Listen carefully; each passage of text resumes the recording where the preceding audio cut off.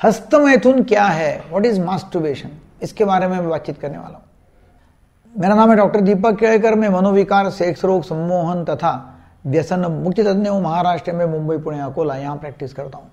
हस्तमैथुन क्या है? काफ़ी लोग सवाल करते रहते हैं। हस्तमैथुन या मास्टुबेशन मतलब हस्त, हाथ से किया हुआ मैथुन, हाथ से किया हुआ सेक्स उसको बोलते हैं हस्त मैथुन तो सेक्स की मज़ा हस्त मैथुन मतलब सेक्स की मज़ा हाथ से लेना सेक्स जैसा फील करना सेक्स जैसी एक्टिविटी करना, वो हस्त मैथुन में होता है।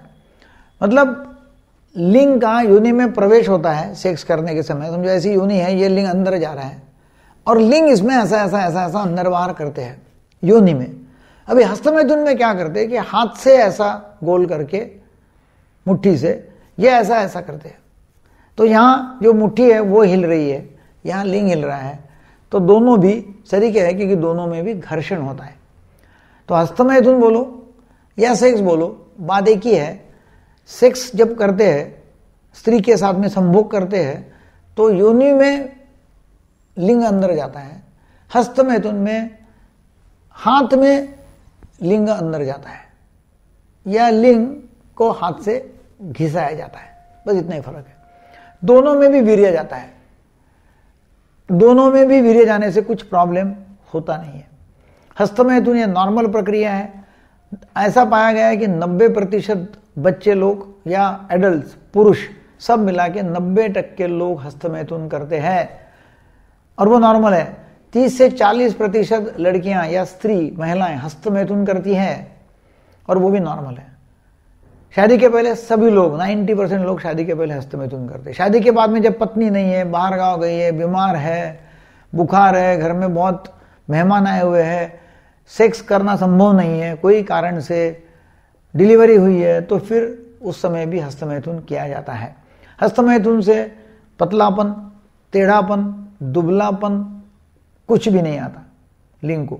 ना लिंग कमज़ोर होता या लैंगिक दुर्बलता, ऐसा कुछ भी नहीं होता। हस्तमैथुन से लिंग टेढ़ा नहीं होता हस्तमैथुन से वीर्य खत्म नहीं होता, वीर्य का स्टॉक कभी खत्म होता नहीं, वीर्य का स्टॉक हरदम चालू रहता है, वो कभी खत्म होने वाला है नहीं। तो हस्तमैथुन से गया हुआ वीर्य भी नॉर्मल है। हस्तमैथुन अकेले अकेले किया जाता है, अकेले करते और अकेले उसमें सेक्स का आनंद आता है। लोग हस्तमैथुन करने के समय ब्लू फ़िल्म देखते हैं पॉन वीडियो देखते हैं, अपनी गर्लफ्रेंड को याद करते हैं, शादी हुई तो अपने बीबी को याद करते हैं, जिसके साथ में या कोई पिक्चर की सिनेमा की एक्ट्रेस होंगी जो अपने को अच्छी लगती है, उसको याद करते हैं, या वीडियो हस्तमैथुन करते हैं मतलब व्हाट्सएप के ऊपर वीडियो कॉल करते हैं और वो देख देख के हस्तमैथुन करते हैं। कुछ भी करके स्टिम्युलेट करना, विचार लाना दिमाग में, आँखों से देखना, विचार लाना, सुनना, ऐसा सब करके एक्साइटमेंट आती है और इधर लिंग को घसते हैं फ्रिक्शन करते हैं। और जब फ्रिक्शन करते हैं तो एक कामपूर्ति का एक बहुत अत्युच्च आनंद आता है। एक बहुत हाई लेवल ऑफ़ एक्साइटमेंट में जाते हैं बहुत अच्छा लगता है और बाद में वीर्य बाहर निकलता है और एकदम शांत लगता है। हस्तमैथुन से दिमाग शांत होता है आ, उसमें बहुत अच्छा लगता है सेक्स जैसा आनंद मिलता है तो हस्तमैथुन करना बहुत अच्छा है हस्तमैथुन से कुछ नुकसान होता नहीं है। ब्रह्मचर्य यही जीवन है वीर्यनाश ये मृत्यु है यह गलत है वीरनाश कितना भी हो तो भी कुछ होता नहीं हस्तमैथुन से कुछ होता नहीं है। हस्तमैथुन का इतना ही है कि हस्तमैथुन कितने भी बार कर सकते हैं, मगर हस्तमैथुन में यदि मज़ा नहीं आती तो करने का नहीं है। हस्तमैथुन करना ही पड़ता है, ऐसा है तो वो हो गया OCD obsessive compulsive disorder otherwise हस्तमैथुन normal है। वीडियो आपको अच्छा लगा तो जो लोगों को शेयर करो। Thank you very much